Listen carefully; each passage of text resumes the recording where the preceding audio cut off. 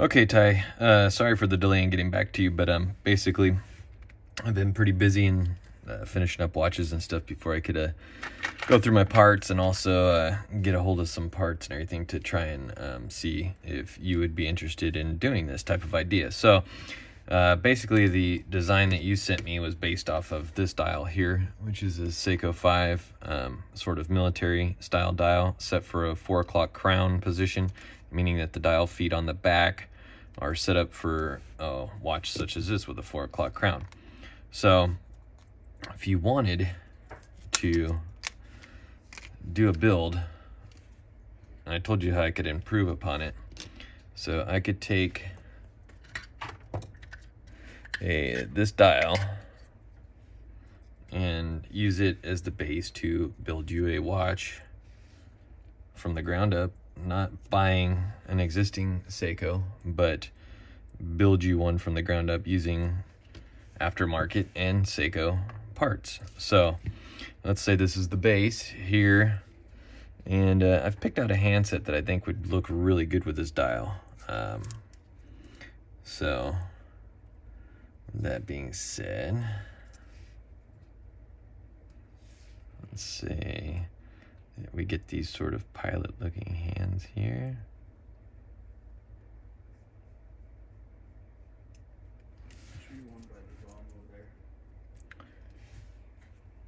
Excuse the noise in the background. My son's in the room playing Call of Duty.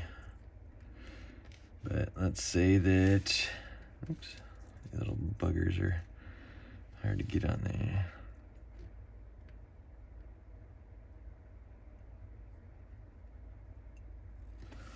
So let's say we go with a handset like that. And then you want obviously a touch of color in it. So we could do some orange because it seemed like he liked orange, but I think that fluorescent orange was just a little bit too much. You want something, obviously you're going for like a rugged military style look. So let's say we did a hand like that. Or I could do one with like a square tip instead of a round tip. I think the square tip probably looks better. Let's see.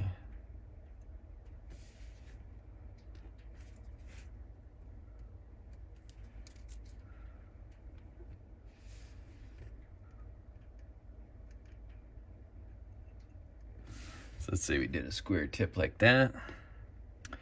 And then let's give it some, a little bit of a,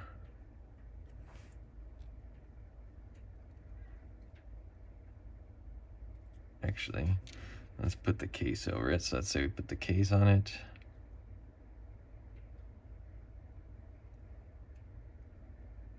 So now you got that look. And then let's throw a chapter ring in there. This chapter ring silver. So put the bezel on. And then you could do the case like you could leave it polished or I could bead blast it so that it's got a satin gray finish to it.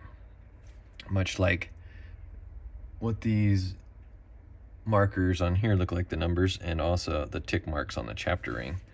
And then we could put that all together with like a flat crystal and have it look like that. Or if you wanted to really upgrade it, we could bead blast everything and have that all grayed out so it matches the chapter ring. And then we could bring in this type of mil spec bezel insert to match the dial. Or I could even do a, all white if you didn't want a silver chapter ring. And we could leave it polished, or I could still bead blast it. And I could do like a, uh, hold on.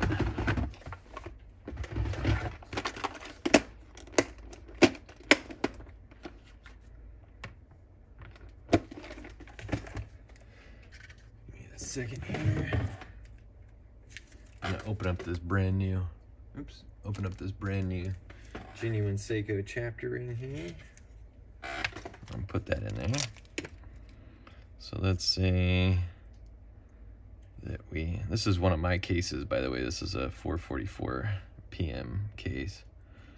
One of only a few that I have left. I used to sell them. I'm not selling them anymore because can't get resupply from China anymore. It's not worth my time, but, um, or money. But, uh, anyhow, it's a 444 PM case, so it would be one of my cases built using aftermarket parts and uh, genuine Seiko parts. So now you've got all that.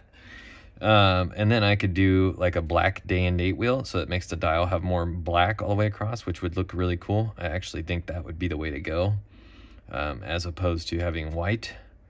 Um, I might be able to show you what that looks like here. Hold on.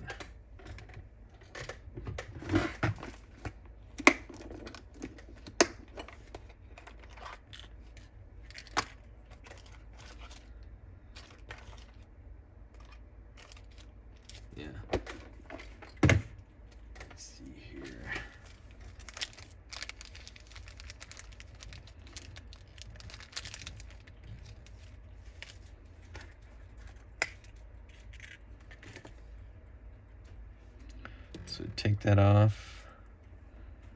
And then let me lift this off of here without messing up these hands. Set that to the side. Let's go ahead and put this down here. This is just like a little template thing that I use.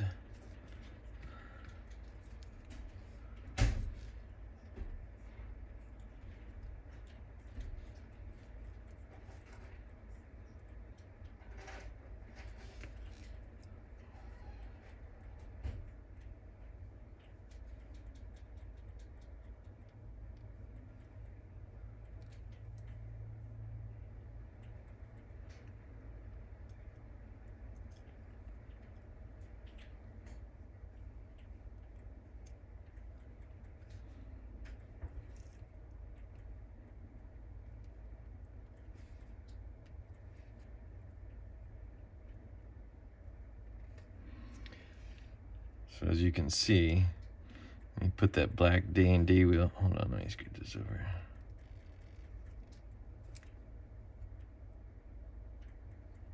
You put that black day wheel in there.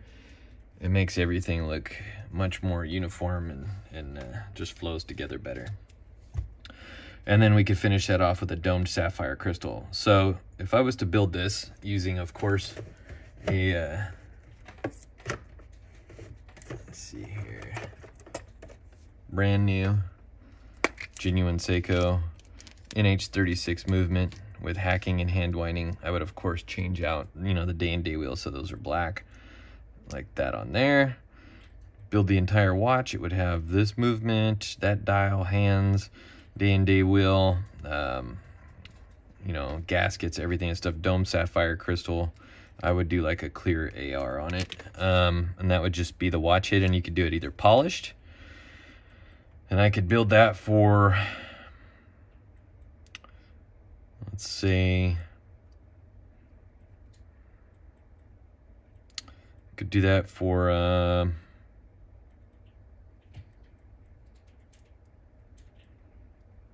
Four seventy five just for the watch head. And if you want it bead blasted, the whole thing finished, I could do it for uh, 550. That includes shipping to you as long as you're in the United States. And then that way you could pair it with um, a NATO strap. Later on, if you wanted a bracelet, um, you could, you know, get a bracelet for it and then send it to me and I could bead blast the bracelet um, for, you know, $50 and then ship it back to you. Or if you wanted, I could order you a bracelet um, and bead blast it. Um, that would be an additional uh, $100 added onto the cost. So if you wanted the watch head and like an oyster style bracelet, stainless steel, bead blasted to match the finished or polished. So if you wanted it polished, then we would say, let's do 625.